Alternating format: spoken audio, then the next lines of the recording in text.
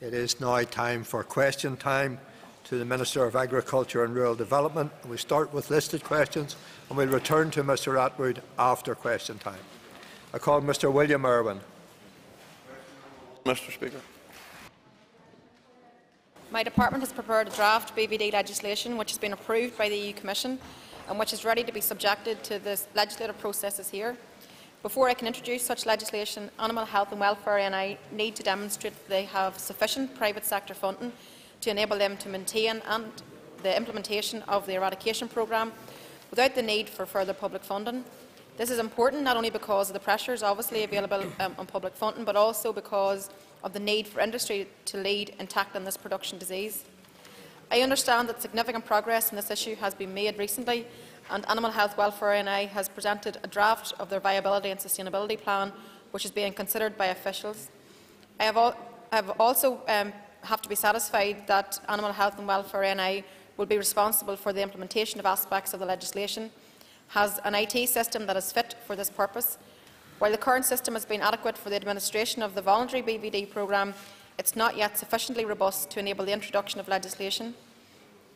Animal Health and Welfare NI is currently working with its database provider to resolve these issues.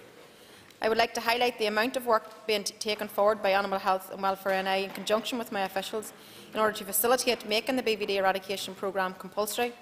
In many respects, this project has been breaking new ground and, of course, has presented a number of challenges which have taken time to work through. I would also like to highlight the positive contribution that the industry, both the dairy and the beef sectors, are making to this um, ongoing work. I am hopeful that any remaining issues can be successfully um, resolved shortly and that I will be in a position to legislate later this year. Call Mr Irwin for supplementary. Can I thank the Minister for a response? Does the Minister accept that there is frustration in the industry over the length of time it is taking to get this scheme up and running? Yes, as I said, uh, the trend to get to a stage where we have a compulsory scheme hasn't been without its challenges, but this very much is an industry-led initiative. However, we are very supportive and, and are working um, with the industry and been able to get us to the stage we are now. I'm, I'm pleased that we are, um, have just recently received the viability plan from um, industry, from Animal Health and Welfare NI, things look good and I'd be hopeful the fact that we'll be able to move forward now and move to introduce the legislation, which we have already had that approved by the EU.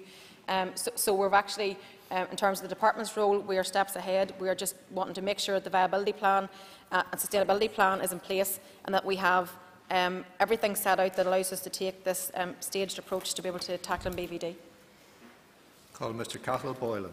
Uh, Gormagan, uh, Priv Ilyaskan Corley. Thank you, Mr. Principal Deputy Speaker.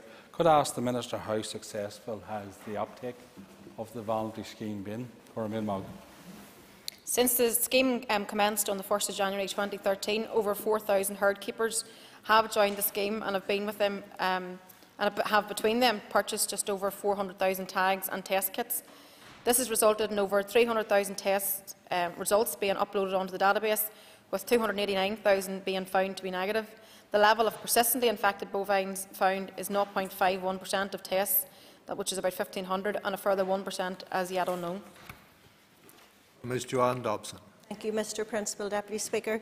As we know, the Minister announced um, to great departmental fanfare two years ago she was going to legislate for compulsory BVD testing.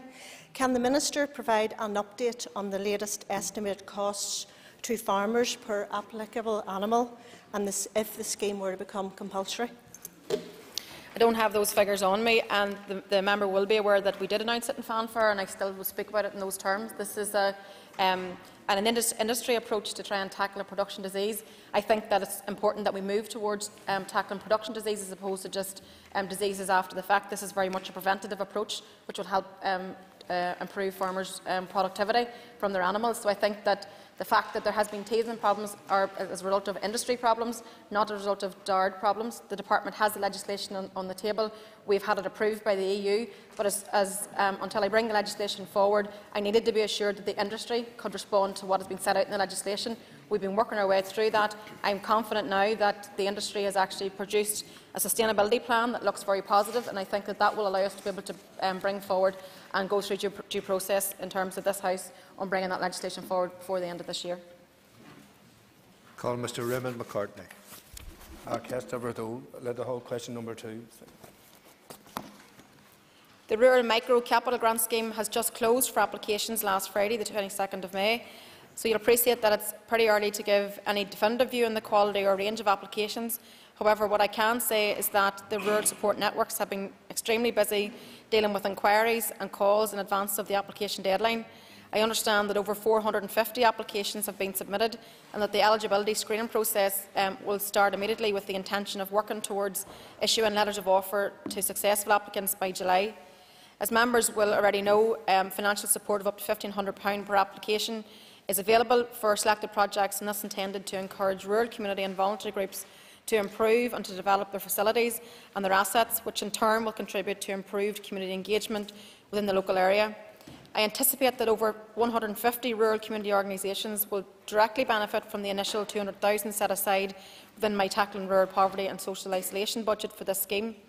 This new scheme, uh, this new programme represents an excellent opportunity for community groups to build on their existing roles, strengthening community engagement and improving the lives of those living in rural areas. The response so far would suggest this programme would have a tremendous impact on our rural areas. Call Mr McCartney for a supplementary. Agur me agad a príomh lascon coolar agus gún buigas leis an air dá an Fragerson. Thank you very much, Principal Deputy Speaker, and can I thank the Minister for her answer. Can the Minister perhaps give us some uh, outline or some detail on how the successful projects will be selected and what sort of criteria she will be using for them? The programme, as I said, opened on the, or maybe I didn't say, opened on the Monday the 13th of April and closed on the 22nd of May. And in order to reduce the administrative burden and the application processing times, once an application is screened um, against the programme's eligibility checklist, there's no secondary assessment process. So that speeds the whole um, grant scheme up. Each um, rural support network has been advised of their grant allocation to fund projects in their area, and all eligible applications up to the allocation threshold for the area can be awarded funding. In the event of the network being oversubscribed, then selection will be um, through the use of random selection, which will be undertaken in an appropriate venue open to attendance by applicants. Actual selection will be undertaken by an individual who is independent from the entire process, and selection will be verified um, by attending DARD officials. Random, um, just to say, random selection is not a first come, first served process. No grant awards will be made until the call for applications is closed and all applications within the relevant network area have been screened for eligibility. And I expect that letters of offer will issue before July 2015. Call Mr Basil McCrea. Question number three, please. AFBI have received 246 eligible applications from staff interested in exiting via the voluntary exit scheme. Call Mr McCrea for supplementary. Uh, does the Minister have any idea how many of such applicants will be successful in uh, getting the voluntary uh, redundancy? We have those figures now. Obviously, AFBI has to work through um, its processes in terms of um, bidding into the scheme to be successful. Um, suffice to say that AFBI um, are working very hard in terms of their strategic plan for 2020 and I'm working very closely with them just to set out um, their priorities for, for the um, years ahead, particularly around research, development, innovation and, and, I want to work very closely with them to make sure that we arrive at a sustainable plan for AFBI to have a successful and thriving AFBI into the future. Well, Mr Joe Byrne. Principal Deputy Speaker, can the Minister state will the voluntary exit scheme for AFBI in relation to the cutbacks be able to be self-financing, or will there be extra monies available to AFBI to warrant and pay for the scheme? AFBI will be able to bid in as the same as other um, departments and arm's length bodies in terms of the voluntary exit scheme that's been taken forward um, across the executive. Um, as I said, uh, obviously um, we're under challenge in economic circumstances uh, and AFBI have um, very clearly been set out uh, a challenge and a task to actually look at how they're going to be sustainable into the future. We want to have a thriving AFBI. I want to um, work with them, and I have done so over the last um, period of time to make sure that what they bring forward is something that will create a sustainable AFBI um, and the strategy is set out into 2020. We have that paper near in finalisation and that um, also looks at um, the costed savings that AFBI could achieve. It looks at, at income generation, which AFBI could achieve, particularly around increasing EU receipts. So I'm going to consider all those package proposals very carefully before coming to final decisions, just in terms of the future direction and, and um, how, we'll, how we'll envisage that AFBI will work. Call Mr Roy Beggs. Principal Deputy Speaker. Uh, The Minister has referred to her application to the voluntary redundancy scheme. She will, however, be aware that her party's opposition to welfare reform means that that scheme which was dependent on welfare reform is likely not to be available. So can she advise us if she has any funding within her department to pay for a voluntary redundancy scheme or will she have to over, overlook a compulsory redundancy scheme? Well, I'm not going to get into speaking in what-ifs. Unless the member has a crystal ball, I don't think he can definitively say what happens next. The scheme is going forward as, it, as is at this moment in time. If there are changes to that, then we'll have to look at all of that.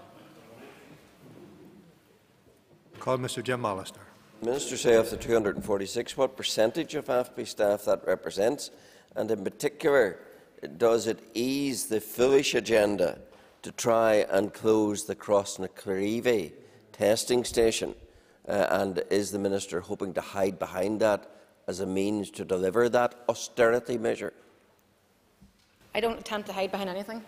But I, can, um, I don't have the percentage figure either. 246 um, is, is, the total number that have applied.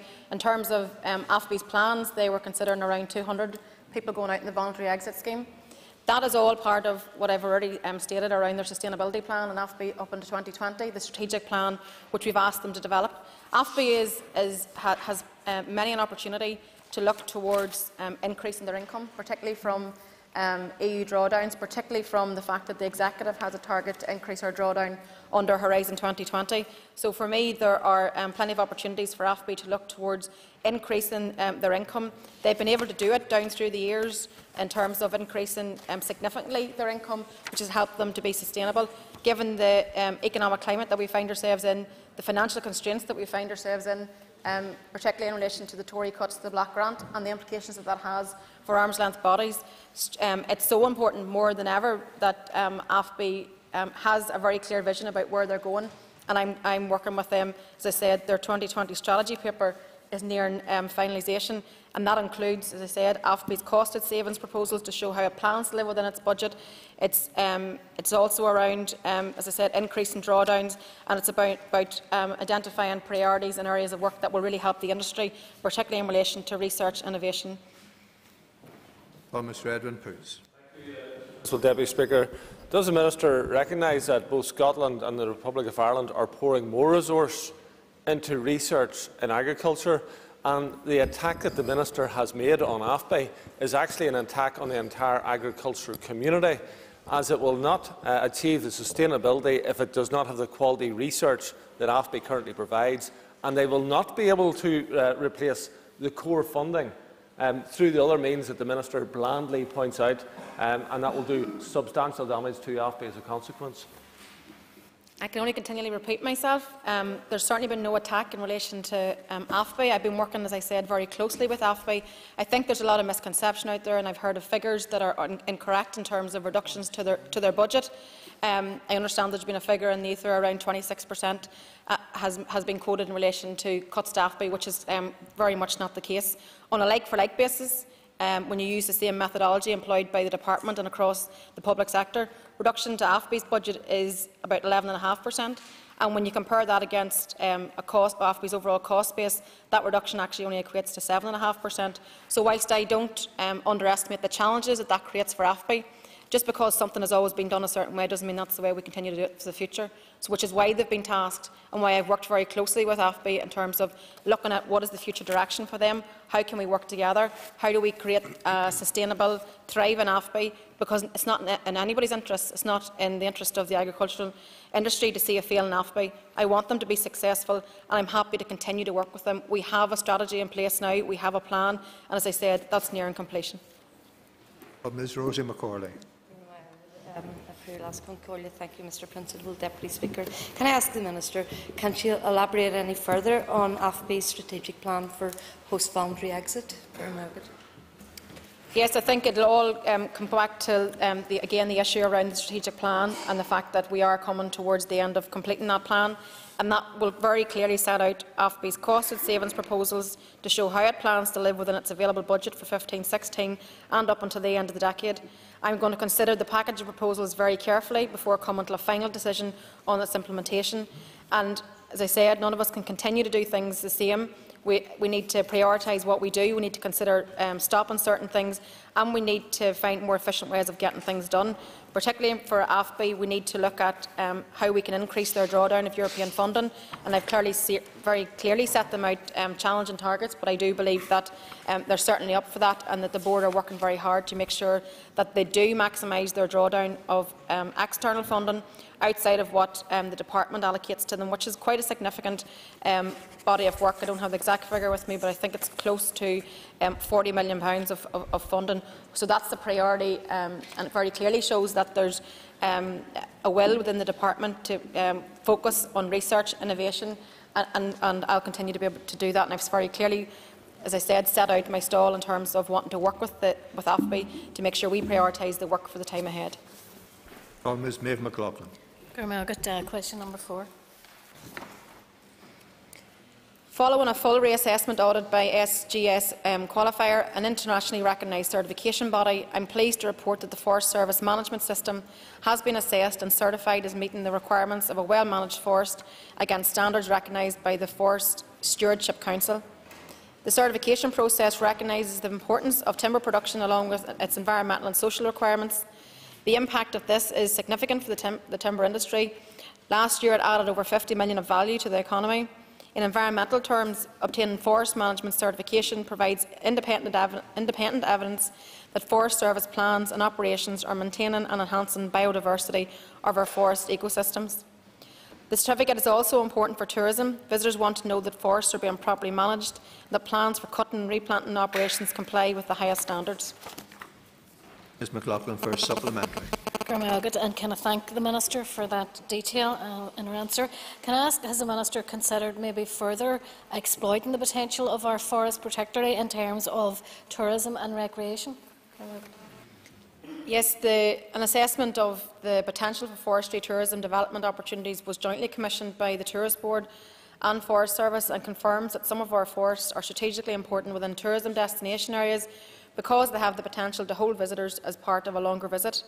The outcomes of that study, have underpinned the decision by the Executive to invest £4 million in forestry tourism projects, collectively known as the Forestry Fund. That work is nearing completion and many forests have benefited through the improvement um, to poor quality and outdated tourism and recreation related infrastructure. The Forest Fund also identified a need to establish a baseline of forest visitor figures in terms of numbers and profile. As a result, a forest visitor survey has been recently completed and a key outcome will um, include information on the economic value generated by these forest visits. The final report is currently being assessed and I am confident this survey will provide a clear evidence base for the value of um, forest tourism. The information gathered by the survey will also um, provide an important aid to future recreation and tourism investment considerations and partnership working arrangements. Our forests offer a unique opportunity and attracting, uh, and attracting more visitors will have a positive impact on the economy of rural areas across the north. Well, Mr Robin Swann. Thank you very much, Mr Deputy Speaker. Does the Minister believe that Forestry Service currently has the flexibility or the ability to maximise its revenue-raising potential, either through timber sales, asset sales or even land leases?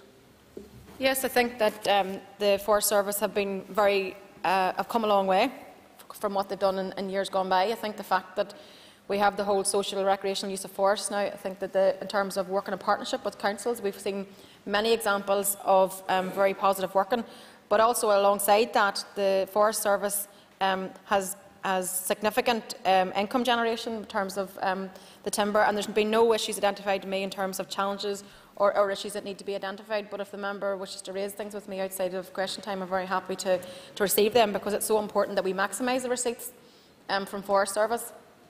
And um, I continually, as I said, um, engage with the Forest Service Chief, Chief Executive in terms of um, challenges and opportunities that are there. But we certainly are, are not coming across sort of major issues in terms of um, barriers to, to potential income generation. But as I said, happy to talk to the member if he has any specific issues. Call Mr Sean Roger. Thank you, Mr Deputy Speaker, and thanks, Minister, for your answers thus far. Minister, in the Republic, they have plans with their new uh, forestry programme to plant over 8,000 hectares over the next 10 years. What expansion plans have DARD got in terms of afforestation and in terms of creation of woodland?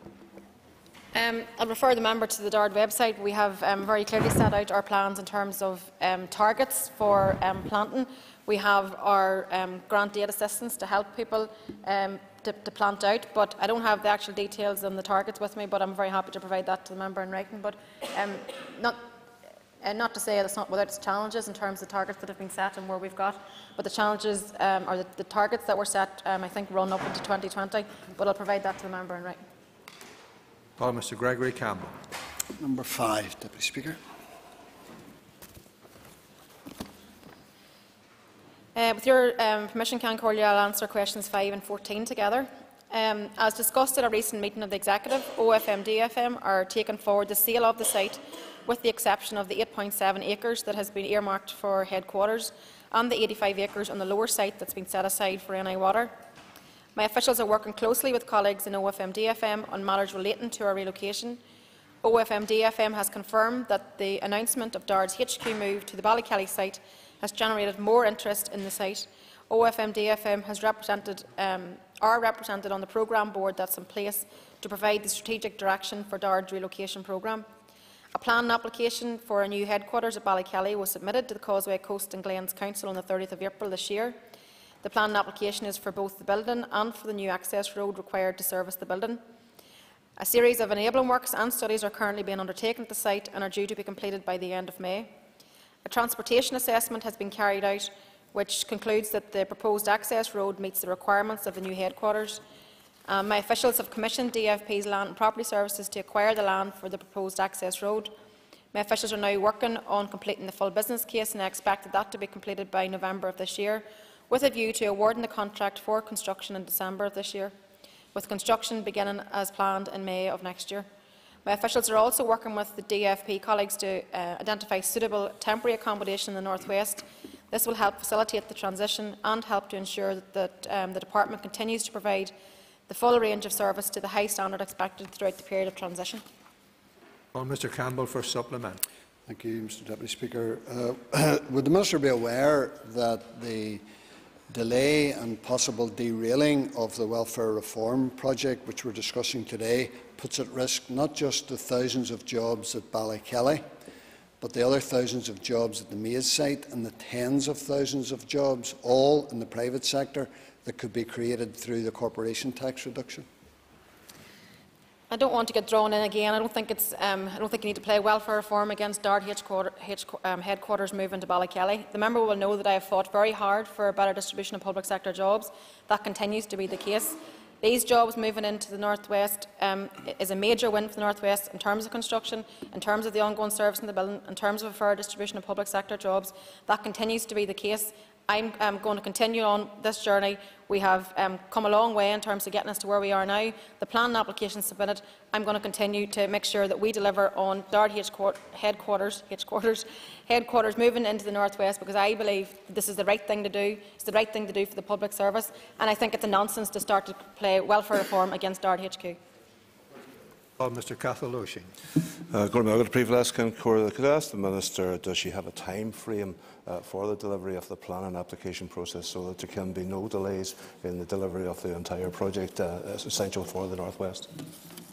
Yes, on the 30th of April this year, we had a planning application which was lodged with the new council, the Causeway Coast and Glens Council, for the design of the new headquarters.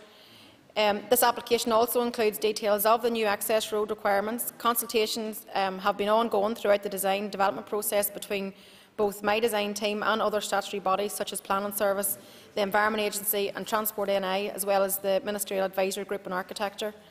The building has been sited and designed to minimise the impact on the surrounding landscape, with particular focus on the nearby church. The exterior of the building has been designed so as to integrate appropriately into this rural setting, with extensive use of granite, stone and bronze cladding. The building will be constructed in two phases, with the completed building measuring 6,600 um, metres squared the building will provide modern office accommodation for DARD staff and will be built to government office standards, making full use of open plan spaces and modern working practices. Planning service worked to a 12-week target and we expect this to be completed by August of this year. We will then proceed to the invitation to tender stage with a view to awarding a contract for the construction of the building by December of this year. Call Mr John Dallat. Principal Deputy Speaker, I welcome the Minister's response uh, welcome the uh, idea of uh, our department coming to Ballykelly. The Minister, would she agree with me that this is only a tiny part of a 900-acre site. And in her discussions with the Office of the First and the Deputy First Minister and others, can she please explain to this House why they're only scurrying about this week talking about a master plan for a site that has the potential to create hundreds, if not thousands, of jobs? And finally, could the Minister tell us where else in the world would you have a site like that with an airport beside it, a railway running through it, and a main road going past it? And there's still no master plan, still no economic uh, task force Come to a set up. What is happening? Well, can I, con- uh, well, I welcome the, the member's positive um, commentary in relation to um, the move to Ballykelly and the benefits that that will bring. And I, I know he's a consistent supporter of, of the move. I think that, uh, well, it's very clear the executive um, have responsibility for, OFMDF in particular, have responsibility for the wider site.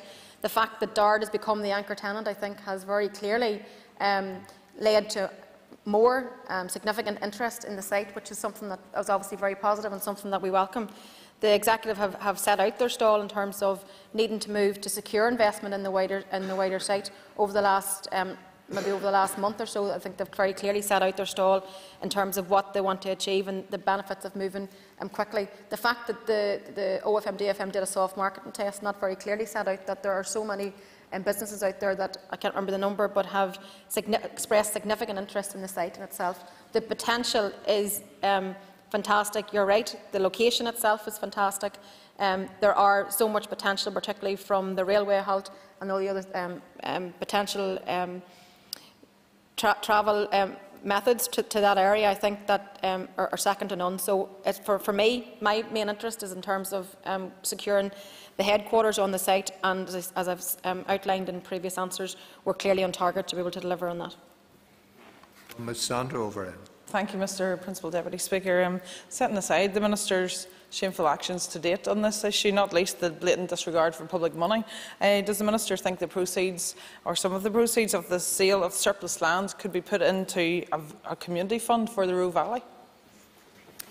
Well, maybe the member doesn't understand. When the site is sold off, it's an executive sale. It won't come into DARD, so it will not be my um, individual responsibility. It will be an executive responsibility as to how the money is, uh, spent. In terms of my regard to public money, um, I have very clearly set out my stall in terms of why we need to have a relocation project, and very clearly set out my stall as to why uh, and to the benefits of moving um, the headquarters into, um, into the northwest. I've also very clearly set out uh, the benefits as to why forestry would go into Fermanagh and why um, Rivers Agency would go into Loughry and Cookstown in the member's own constituency, but maybe she thinks that's a bad spend of money, but she can answer to the electorate in terms of that. So we have very clearly set out um, the, the benefits of public spend, of spending public money in this way, the fair distribution of public sector jobs, the construction um, jobs that it will create, the long-term economic benefits that it creates, particularly if you take Ballykelly with the increased footfall into a small area. So the benefits to me um, very clearly um, weigh up in terms of the spend of public money. Call Ms Karen McKevitt. Principal Deputy Speaker, question six. Since the European Commission's comments on the draft Rural Development Programme 2014-20 were received on the 31st of March of this year, my officials have been engaged in a process of negotiation with the Commission to address the comments raised and gain approval for our programme as quickly as possible. These negotiations have included seven video conference meetings with Commission officials in Brussels and one face-to-face -face meeting. So far, our um, ANC scheme, as submitted in the draft programme, has been informally approved by DG Agri with minor technical amendments. We are hopeful of receiving um, informal approval for more schemes shortly. Once the Commission's comments have been addressed to their satisfaction, the full draft programme will be um, resubmitted formally for approval. It will then begin a period of inter-service consultation with the Commission, Formal Commission approval for the programme should be received by July of this year or September at the very latest. In the interim, my officials are continuing to work on the necessary business cases and the design of schemes so that we can start to open schemes once the EU and business case approvals are in place. Call Ms McKevitt for a supplement. Mr Deputy Speaker. Minister, it is generally believed uh, that we are the last region to agree um, to the new Rural Development Programme scheme. Uh, can the Minister advise if any rural groups are at a disadvantage uh, because of this delay? And what protections will her department give to the groups uh, to help deliver on their schemes? Well, it's untrue to say that the majority of other member states have had their programmes approved because that's not the case. The Commission, I think, underestimated the fact that they'd have to deal with an influx of all the applications coming forward last year. So they're struggling in terms of being able to turn those around and actually get approvals out. So the reality is we're not at the bottom of the pile. We are, I've, I've um, noticed that today in the 26 counties have actually just had their programme approved, which is something obviously welcome. But um, in terms of our approval, we're working consistently with the Commission. As you can see from what I've said, there's been an ongoing engagement with the Commission and we're hopeful to, get, to have our approvals over the next number of months. That being said, alongside that work that's being done and tidying up everything with the Commission, we, um, my officials are drafting up schemes. We're actually getting things moving. We, um, for example, invited applications for the agri-environment schemes under um, when people made their claim for single farm payment for the deadline of the 15th of May, even though we've only had informal approval of that scheme. So we're not letting anything um, sit. We're making sure that we're um, going to have the programmes open and ready. You'll know that um, rural groups are actually still, are still receiving funding, um, but I'm very anxious that we learn from the lessons of the previous programme, that we don't have a slow start, that we get things moving. And the only way we can do that is whenever we have official sign-off from Europe. But in the meantime, we have a whole body of work to get on with. That ends the period for listed questions. We now move on to topical questions. The member listed for topical question one has withdrawn their name. I call Mr Basil McCrea. I wonder if the Minister could uh, tell us her position on rural broadband provision. Yes, um, the member will be aware that the responsibility for broadband is uh, a priority of um, the Department of Enterprise, Trade and Investment. However, um, I've been very keen to insert myself and make sure that we try to work and plug the not spots uh, in relation to um, service provision. Anyone who lives in a rural area will be, will be very alert to the, the frustration that's felt by um, businesses, but also families for children, for studying, etc. Um, if, you, if you can't get a connection or you've got a slow connection, then it, it's quite frustrating. So my department has invested £7.5 million in rural broadband um, over the last um, number of years, and we've assisted 1,700 households to be able to get a connection. Um, and, and, I have done that through my tackling poverty and isolation um, package of funding and we will continue to, to work with DETI in making sure that we do plug the gaps. Mr McCrea for a supplementary. Thank you, Principal Deputy Speaker. Uh, Minister, would you accept, though, that there is huge frustration throughout the rural parts of our um, country that they cannot get what they consider to be an essential uh, utility for modern living? And that perhaps it's something that the Department of Rural Development should actually take on board uh, to drive rather than just leaving it to the techies? Well, I think I've just answered that in that I've said that it is very frustrating if you live in a rural area and you can't get a connection. It is the responsibility of the Department of Enterprise, Trade and Investment who have um, contributed significantly in terms of broadband right across the board.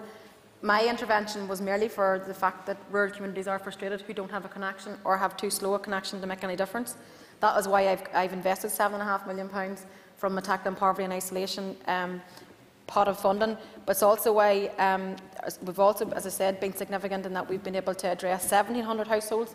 However, if you're in, um, still in an area where you can't get a connection, it's only natural you're going to be frustrated.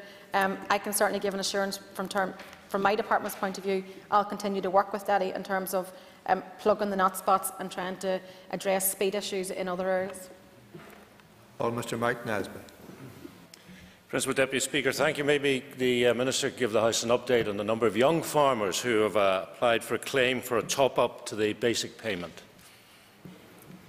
I don't have that figure with me. I'm happy to, to write to the member. We had two and a half, almost two and a half thousand um, young people that actually applied to take part in the course, the CAFRE Run course. So that in itself was um, extremely significant, um, even um, exceeded the expectations of the department in terms of the numbers that will come forward. So um, two and a half thousand, how many of those actually translated into um, applications, I'm not sure. The deadline is just passed on the 15th of May. Um, so uh, we'll be able to assess that over the next number of weeks. Mr Nesbitt for supplement. Uh, thank the Minister uh, and, and, would welcome uh, written confirmation. Uh, the Minister had previously said that the top-up payment would be based on 25 per cent uh, of the total direct payments average per hectare, which I think is around about 84 euro. So given your previous answer, I wonder if the Minister can uh, give some assessment of the financial implications uh, of that. Um, yes, you're right in that 84 euros per hectare was the estimated figure which we thought we'd be looking at. However, it was very dependent on the numbers that came forward. It also was in the numbers that came out of the scheme. So um, until we have until we have the final numbers, I don't want to put out a figure there that um, either raises expectations or lowers expectations in terms of um, the actual final payment. It's, as I said, it's very dependent on the final numbers of applications that came forward. Well, Mr Gregory Campbell.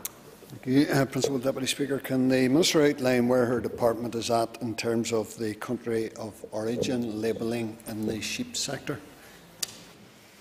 Yes, it's, it's an ongoing issue which um, we're um, attempting to get to the bottom of. The member will be aware that um, country of origin labelling came into effect in April, um, but even prior to that, as far back as last year when we were dealing with the nomadic issue, um, now we have the lamb issue. I'd be, I would be concerned about what this means for all the other sectors in the time ahead. So we've been working, um, monitoring recent developments very closely and doing everything within my power in terms of being able to address the issue. I have um, had conversations with um, Minister Coveney in the 26 counties.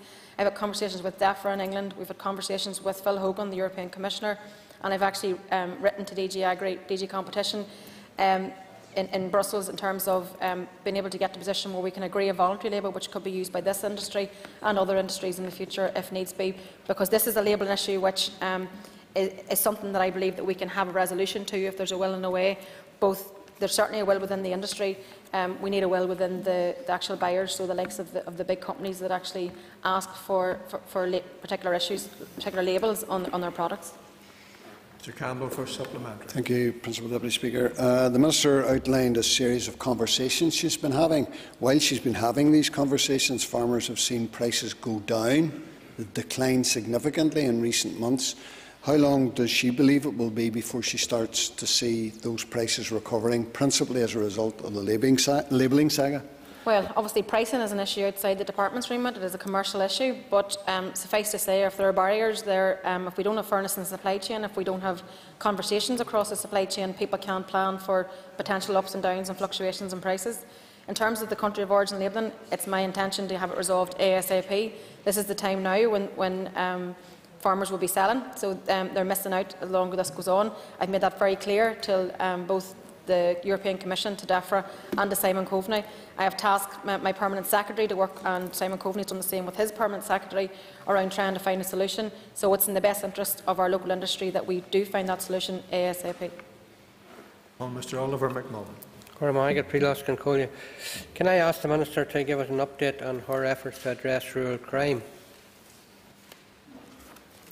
Yes, I'm pleased, uh, or I'm very aware, I suppose, of the real um, concerns that the levels of crime are causing amongst the farming community, including um, the number of livestock thefts that have um, occurred on farms.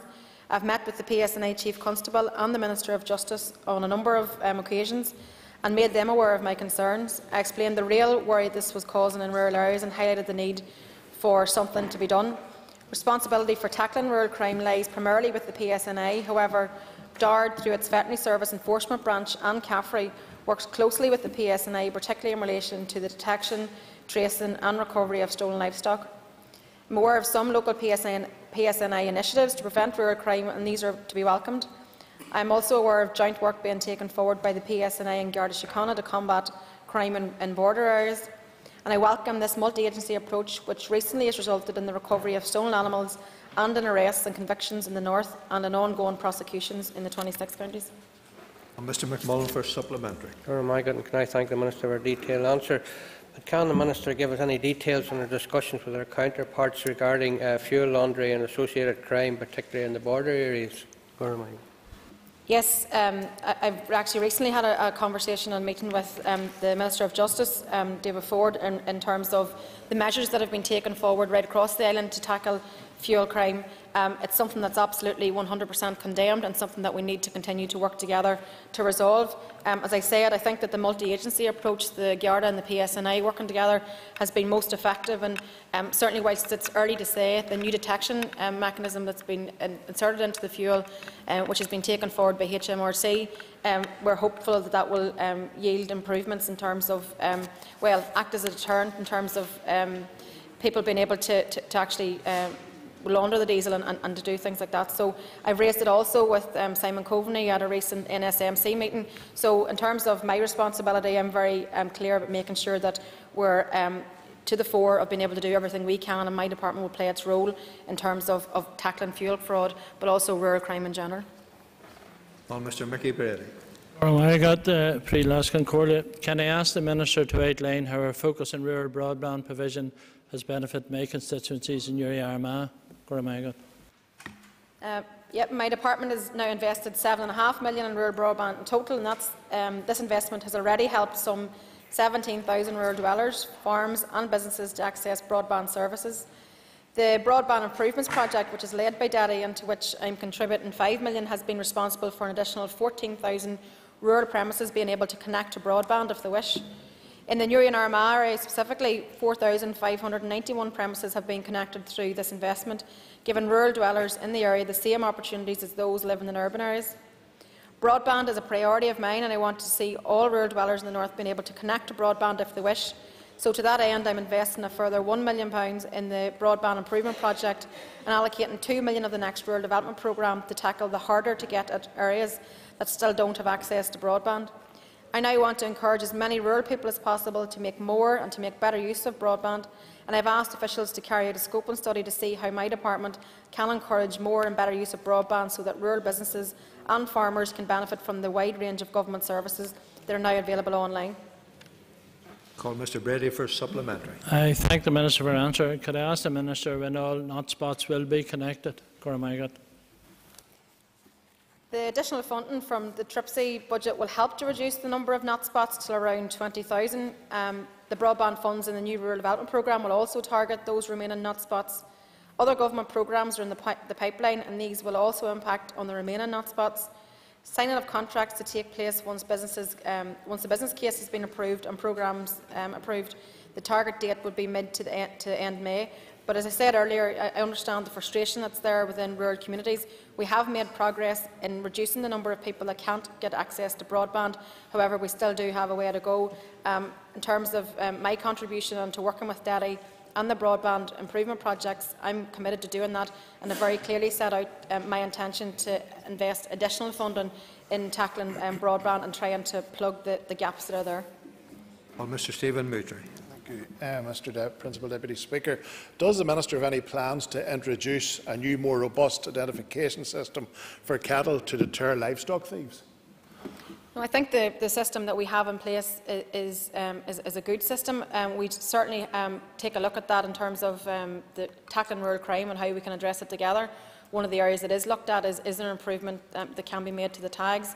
There hasn't been a recommendation um, coming forward from the industry of something that's workable for farmers, but also um, um, acts as a real deterrent. So outside of that, the focus, as I've said earlier, has to be around working collectively, multi-agency, um, across the island with the Gardaí and the PSNI.